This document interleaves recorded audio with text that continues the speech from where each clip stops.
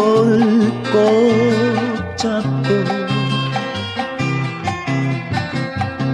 웃음을 보이며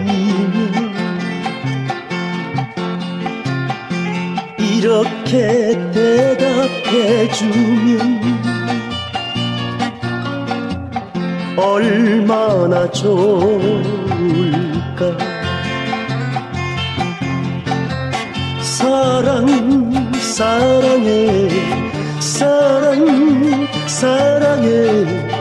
영원히 사랑한다고. 그 손을 꼭 잡고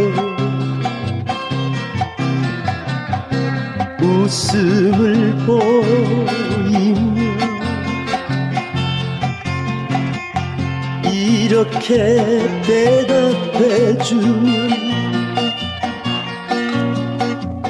얼마나 좋을까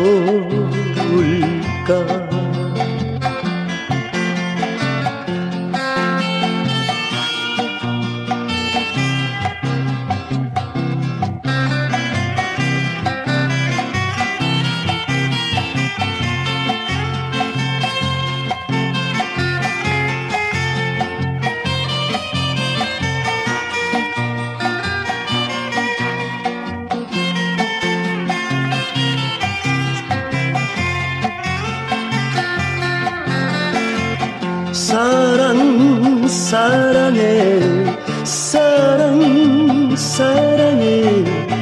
영원히 사랑한다고.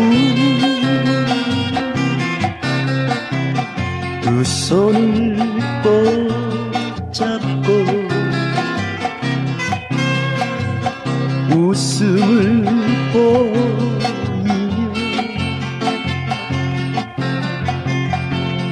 이렇게 대답해주면